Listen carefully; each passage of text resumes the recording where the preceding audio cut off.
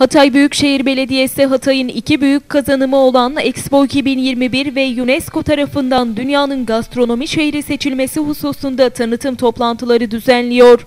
Son toplantıya Hatay Büyükşehir Belediye Başkanı Lütfü Savaş ve eşi Profesör Doktor Nazan Savaş'ın yanı sıra Hatay Büyükşehir Belediyesi Başkan Danışmanı Ömer Faruk Çelebi, Hatay Büyükşehir Belediyesi Kültür ve Sosyal İşler Dairesi Başkanı Mehmet Bozkurt, Hatay Kent Konseyi Başkanı Doktor Nevide Kimyon ve dernek üyeleri, İş ve Meslek Sahibi Kadınlar Derneği Başkanı Yasemin Şakar ve dernek üyeleri ve Doğan Grubu temsilcileri Dilek Anıl ve Zekiye Yiğitbaşı katıldı.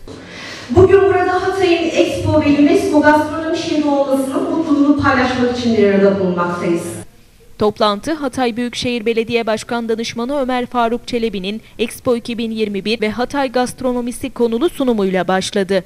e, muazzam bir e, böyle mıknatıs e, karakter kişiliğiyle o insanları e, etkilemesi ve bir fiil projelerin her iki projenin arkasında durması çok büyük etkili oldu. Çünkü böyle uluslararası kurumlar mutlaka e, hayatta da böyle bir ticaret e, işinde de o şirkette ekip kimler bakarlar. Orada bir iyi bir ekip varsa sizinle e, iş, işbirliğine girerler. Yoksa e, hiç kimse e, ciddi işin sahibi olan bir ekip yoksa uluslararası bir kuruluş e, sizin arkanızda durmaz. Sunumun ardından söz alan Başkan Savaş, Hatay'ın Expo 2021 ev sahipliğini ve gastronomi şehri seçilmesini Hatay'ın altın bilezikleri olarak değerlendirdi.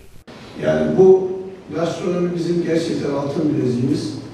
Yani burada iki tane gastronomi şehri var yakınımızda.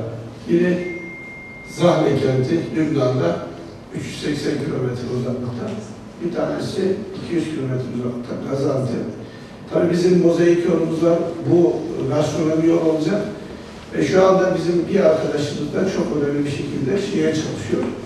Lübnan'a, İsrail'e, Kıbrıs'a, buradan Mersin'e, Adana'ya, e, Antalya'ya deniz otobüsü seferleri falan.